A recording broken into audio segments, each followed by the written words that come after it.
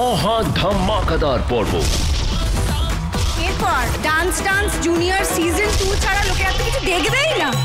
গুরু দেবের জমজমাটি পারফরমেন্স আজকের এপিসোডটা যদি না দেখে তারপর তাহলে আপনারা dance dance junior season two দেখেনি ডান্স ডান্স জুনিয়রের মঞ্চে খেলা শুরু। Colgate presents dance dance junior season two power by Sunrise top tech theatre bar Sunsilk এবং আইটেক্স ডান্সলা একদম নতুন পর্ব। এই শনি ও রবিবার রাত সাড়ে নটায় স্টার জলসায় ও ডিজনি প্লাস হটস্টারে